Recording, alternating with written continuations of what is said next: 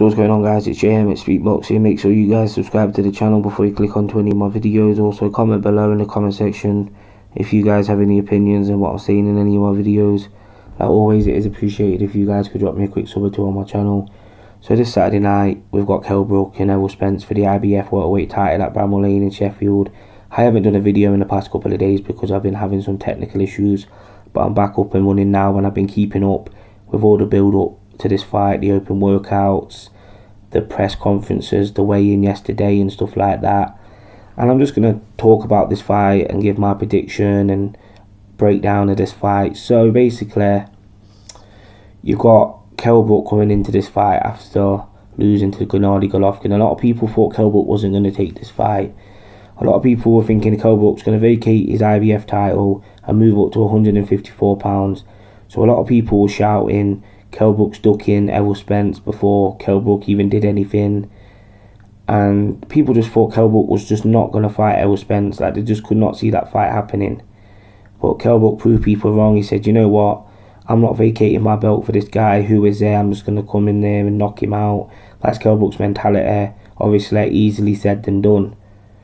But then you got Errol Spence as well. He's travelling to the UK. He's the B side, obviously, in this fight. He's coming over he's going to have 25,000 fans who are not going to be on his side, who are going to be booing him and jeering him in the fight. And obviously, every grazing shot that lands in the fight and stuff like that, even shots that don't really land, the fans are going to be cheering for Kell Brook and stuff like that. So, in my opinion, Errol Spence has to go out there and put it all on the line, and he can't leave anything in the ring because if this fight goes to the scorecards, then this could easily go to Kell Brook and stuff like that. Hometown advantage. But for the actual styles of this fight, you've got Kell Brook, a fighter who likes to fight at distance and stuff like that. A fighter who fights on the outside, throws the one-two and stuff like that, throws the hard shots. And Kell Brook is very accurate. That's one thing Kell Brook is very good at. When he throws from distance, he lands very well, Kell Brook, most of the time. Like it seems to hit the target and Errol Spence, talented fighter as he is, he does tend to get hit in fights, so he needs to be more cautious in this fight against Brook. Hopefully, him and his team have worked on that in the fight, all in the build up to this fight and stuff like that. Because I think Brook can hurt Errol Spence if Errol Spence allows himself to be open in this fight. So he needs to show Kell a little bit of respect in this fight because if he just comes in very open, then he's going to get hurt and he could pay the price against Kell Brook. And then we can flip the script here. And you've got Errol Spence, who's very good on the inside, who likes to come on the inside. And he's a very good fighter on the inside, a very dangerous fighter on the inside. I don't know a better inside fighter in the welterweight division better than Errol Spence. People are going to say Sean Porter, but Sean Porter's inside fighting game is just, oh, it's messy. It's not nice to watch. Whereas Errol Spence, it's clean, it's accurate, and it's very effective. And yeah, Kell Brook can't allow Errol Spence to do that in the fight. So that's why I think he needs to hurt Errol Spence because if he can try and keep Errol Spence at bay with his power and stuff like that, then Kell Brook could win this fight very easily. But if he allows Errol Spence to go on the inside, then Kell Brook's in trouble, and Errol Spence could easily win the fight then. So it's a total difference of styles. But it'll be interesting to see how these styles clash. Both men weighed in yesterday at 146 pounds. Both men were 146 and a few ounces over. So both men made welterweight. And it looked like both men had struggled to make welterweight. We all know Kell Brook struggles to make welterweight. He always has done for the past few years. Like in some fights, he looks absolutely terrible. He looks like he's been on the crack pipe for 10 years when he comes in some weigh-ins in past fights.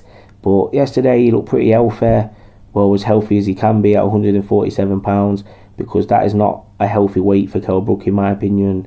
I think Kell Brook should move up to light middleweight after this fight. Win, lose or draw, I think Kell Brook shouldn't fight at 147 pounds again, because at some point it's going to affect his body, and it might even affect tomorrow night. Like we just don't know that because Kell Brook in his last fight fought at 160 pounds he was very big, so for him to come back down to 147 pounds, who knows what it's done to his body and stuff like that. But at the open workout, Kell Brook looked very sharp and stuff like that. But obviously, hitting the pads is totally different to being in an actual fight. But he didn't look drained on the pads or anything like that. But we'll just see on Saturday night if taking them extra few pounds has really affected him, especially if Errol Spence starts landing body shots and stuff like that. But Errol Spence as well is a very big welterweight. Like Errol Spence could easily be a light middleweight. He's very tall for a welterweight, Errol Spence, but he's lean. But yesterday at the weigh-in, he looked like he just couldn't take any more weight off. Like that was it. He was spent. So both men look well, healthy enough for 147 pounds, but both men look like it was a bit of a task for both men to lose the weight for this fight. So it'd be interesting to see which fighter it affects because I think it could affect one of these fighters tomorrow night. The weight it's either going to be Errol Spence or Kell Brook. Like obviously, Kell Brook is the favourite to be affected by this because Kell Brook has struggled to make welterweight for a while. But we'll just see how this fight gets on tomorrow night.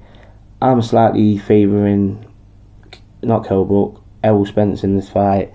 I'm slightly favouring Errol Spence because I think he'll be able to get on the inside against Kell Brook. I think he's the fighter on the up, and we don't know how the weight is going to affect Kell Brook, and I think it might even affect him tomorrow night, just because in his last fight he moved up to middleweight, and I just see Errol Spence being the fighter who's getting better and better in each fight, and I can see Kell Brook getting a bit emotional in this fight and allowing Errol Spence to do things which could cost him.